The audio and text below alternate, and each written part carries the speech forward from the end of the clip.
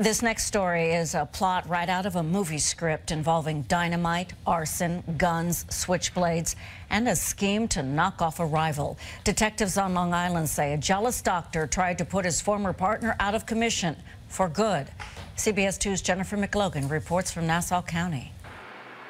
It was inside his lavish Gold Coast home where the respected Long Island cardiologist Dr. Anthony Moschetto allegedly conspired with two hired hitmen to torch his former Great Neck practice, kill his former partner in a bitter professional dispute over power and control our understanding was the plan was to come to fruition in May. Secreted behind a switch-activated bookcase in his Sands Point mansion, a cache of 100 weapons, assault rifles, illegal narcotics, cash and blank prescription pads were allegedly used as payment to undercover detectives. The link is Dr. Anthony Moschetto, a practicing cardiologist in Great Neck who was the supplier and mastermind behind this elaborate scheme. Dr. Moschetto arranged for his co-defendants to set a blaze in his old office. But firefighters extinguished it, says the DA, before anyone was hurt. Dr. Moschetto then allegedly hatched a new plan against the former partner.